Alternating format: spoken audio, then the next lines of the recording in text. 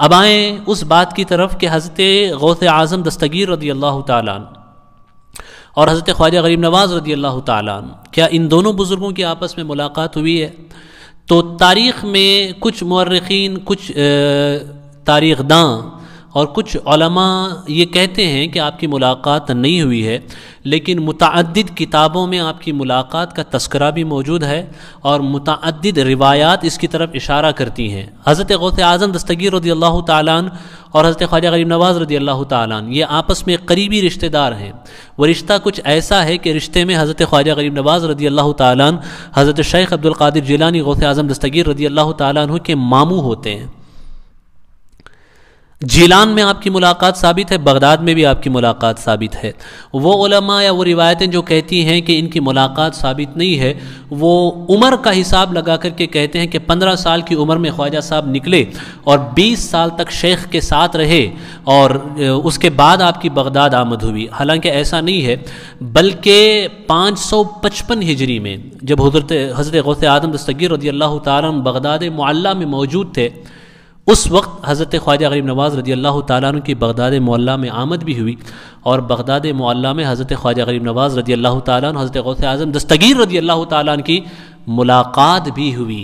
तारीख़ी किताबों में, सीरत की किताबों में मशाइ की किताबों में इसका तस्करा मिलता है, बल्कि इशारा, सराहत के साथ इस बात का भी ज़िक्र मिलता है कि गौस आज़म दस्तगीर रदी अल्लाह तु की बारगाह में हज़रत ख्वाजा गरीब नवाज़ रदी अल्लाह तु ने इस बात का ज़िक्र भी किया कि अनकरीब हिंदुस्तान की तरफ़ रवानगी होगी तो उस वक्त हज़रत ख्वाजा गरीब नवाज़ रदी अल्लाह तु से हज़रत गौस आज़म दस्तगीर रदी अल्लाह तु ने फरमाया कि जब उस तरफ़ आपकी रवानगी हो तो अच्छी तरीके से एक बात का ख्याल रखना कि वहाँ अल्लाह के शेरों में से एक अजीम शेर रहता है। जानते हो शेर कौन है? कौन है वो शेर जिसका ज़िक्र हज़रत गौस आज़म ने हज़रत ख्वाजा के सामने फरमाया और ये भी फरमाया कि उनका फैज़ लेना, उनसे फैज़ हासिल करना। वो अल्लाह का शेर कोई और नहीं, जिसे दुनिया हज़रत अली हिजवेरी, दाता गंज बख्श रदी अल्लाह तु के नाम से जानती है। यही वो अल्लाह का शेर है जिसके हवाले से हज़रत गौस आज़म ने हज़रत ख्वाजा गरीब नवाज़ को ताकीद फरमाई।